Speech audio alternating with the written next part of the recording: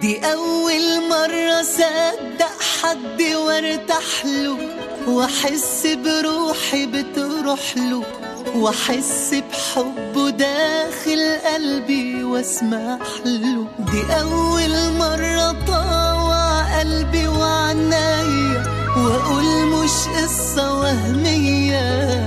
ده أول حب جد أعيشه في الدنيا.